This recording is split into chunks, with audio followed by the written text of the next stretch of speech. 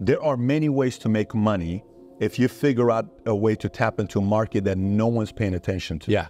You grew for seven years from zero to a hundred million. If you had to say like this, if you only got one technique to sales and growth of a business, what's that technique?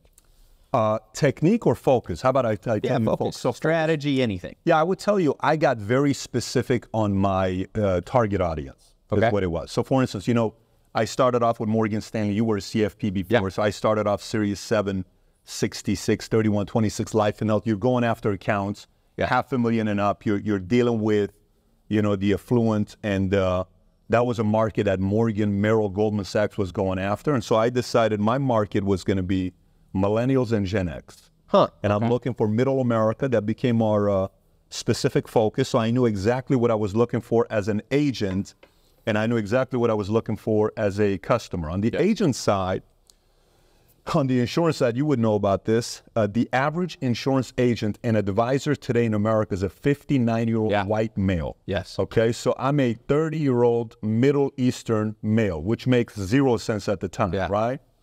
And then you saw uh, Barack Obama become a president. Yes. He becomes a president purely on social media, and he becomes a president purely based on uh, being able to connect with minorities, Hispanic community. He was very focused on that, uh, and that's what we did. You know, today we're 51% Hispanic. Uh, we are 54% women, which is absolutely an anomaly. Huh. Average agent is a 34-year-old Hispanic female.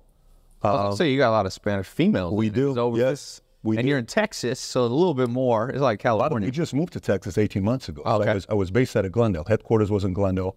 We moved to Dallas uh, 18 months ago. And so now we went from being in Northridge, California originally with 60 plus agents to now uh, 5,100 in 49 states, including Puerto Rico. So if you're watching, the key takeaway, and I've seen this over and over. There's a great book on this uh, by Gary Keller called "The One Thing."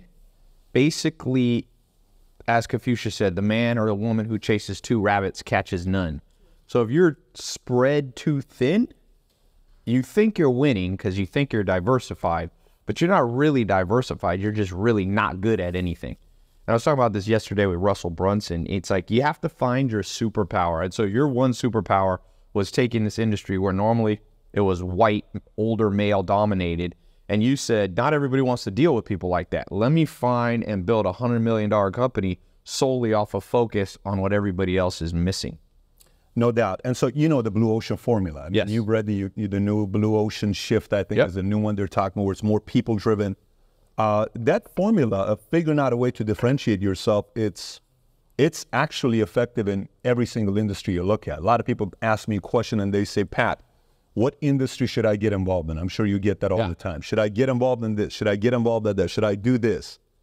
there are many ways to make money if you figure out a way to tap into a market that no one's paying attention to. Yeah.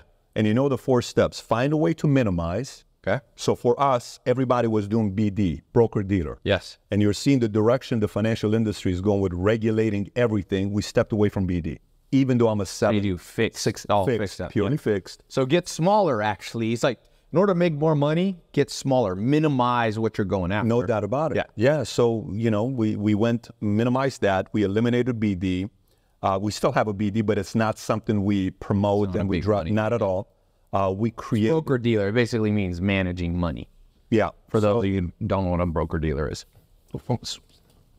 go ahead. So, and then outside of that, you know, we What were the other four? You said minimize. minimize. You got to eliminate. Yep. You got to create. Yep. So we created a market that we're going after that they're not going after in the marketplace. Yep. And then you have create, minimize, increase.